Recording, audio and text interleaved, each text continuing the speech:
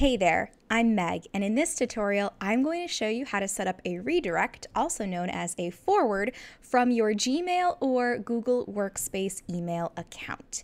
Now, this works the same whether you're using Google Workspace or Gmail. So currently, I'm on my Google Workspace. So what you're going to do is head on up here, click the cog for settings, click on See All Settings, and then you're going to go over here to forwarding and then add a forwarding address. So what you're going to do is you're going to enter in your email address that you want the emails from this account to be forwarded to. So for example, right now I'm logged into my Miss Megabug Google Workspace account.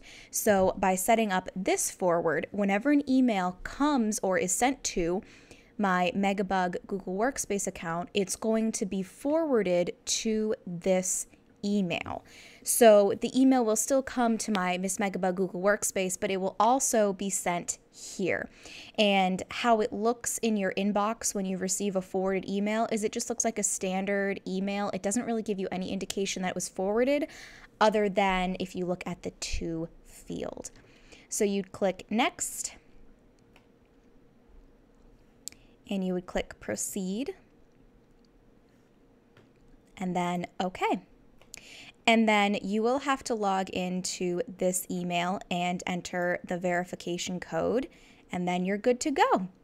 So that was a super easy tutorial on how to set up a forward or redirect from one Google Workspace slash Gmail account to a different email address. I hope it helps.